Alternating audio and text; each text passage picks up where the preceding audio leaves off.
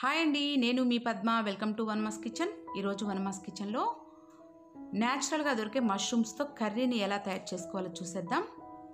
ఈ మష్రూమ్స్ మనకి ఎప్పుడు పడితే అప్పుడు దొరకవండి. ఇవి సీజనల్ వారీగా మనకి వర్షాకాలంలోనే అందుబాటులో ఉంటాయి.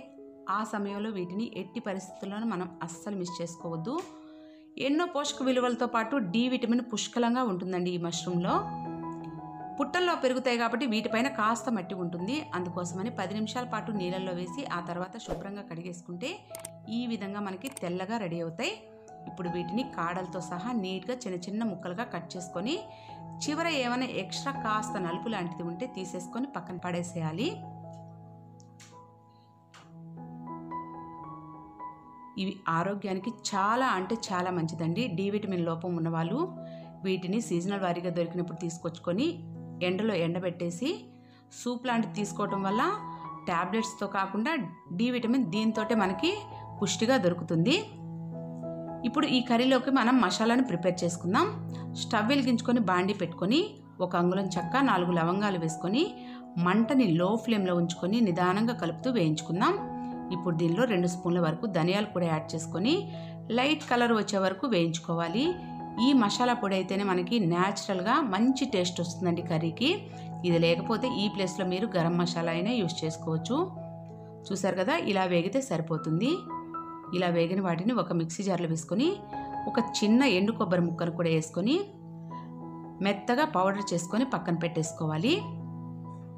ఇప్పుడు కర్రీ కోసం స్టవ్ వెలిగించుకొని ఒక గిన్నె పెట్టుకొని రెండు టేబుల్ స్పూన్ల ఆయిల్ వేసుకొని ఆయిల్ కాస్త వేడెక్కాక అర స్పూన్ జీలకర్ర రెండు పచ్చిమిర్చి తరుగుని యాడ్ చేసుకొని అదేవిధంగా ఒక కప్పు వరకు సన్నగా కట్ చేసి పెట్టుకున్న ఉల్లిపాయ ముక్కలు కూడా వేసుకొని లైట్ గోల్డెన్ బ్రౌన్ షేడ్ వచ్చే వరకు వేయించుకుందాం. ఉల్లిపాయ ముక్కలు బాగా వేగితేనే టేస్ట్ చాలా బాగుంటుంది కదా. ఇప్పుడు దీనిలో రెండు రెబ్బల కరివేపాకు కూడా వేసుకొని ఒకసారి కలిపేసుకుందాం.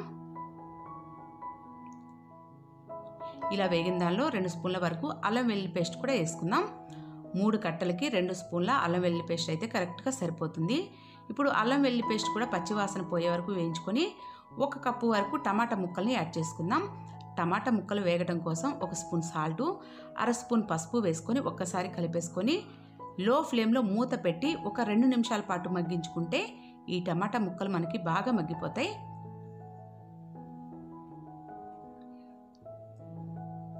చూసారు కదా? రెండు నిమిషాలకి ఈ విధంగా మనకి టమాటా ముక్కలు రెడీ అయిపోయి ఉంటాయి.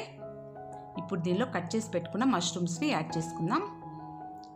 ఈ కూరలోకి మనం అస్సలు నీళ్ళు వేయక్కర్లేదండి.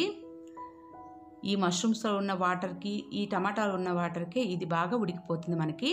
ఇలా వండుకుంటేనే మనకి ఈ కర్రీ మంచి టేస్ట్లో రెడీ అవుతుంది.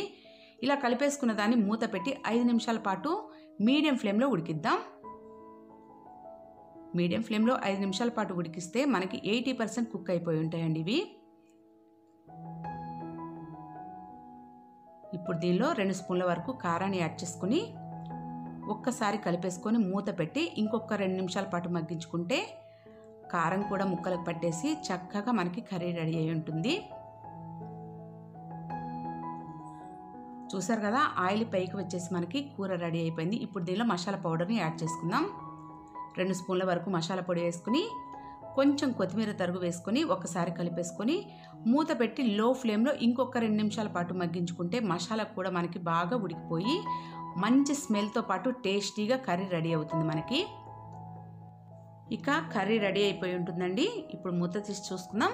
చూసారు కదా ఆయిల్ మొత్తం పైకి రిలీజ్ అయిపోయి కర్రీ మనకి చిక్కగా రెడీ అయిపోయింది. ఈ కర్రీని ఈ విధంగా ట్రై చేయండి. రోటీస్లో కానీ చపాతీస్లో కానీ అదేవిధంగా రైస్లో కూడా ఎక్సలెంట్గా ఉంటుందండి. డెఫినెట్గా అందరికీ చాలా అంటే చాలా బాగా నచ్చుతుంది. మీరు ట్రై చేసి మీకు ఎలా కుదిరిందో కామెంట్ సెక్షన్లో కామెంట్ చేయండి. మా వీడియో కనుక మీకు నచ్చినట్లయితే లైక్ చేయండి షేర్ చేయండి. మరిన్ని టేస్టీ రెసిపీస్ కోసం తప్పకుండా మా వన్ మాస్ కిచెన్ ఛానల్ని సబ్స్క్రైబ్ చేయండి.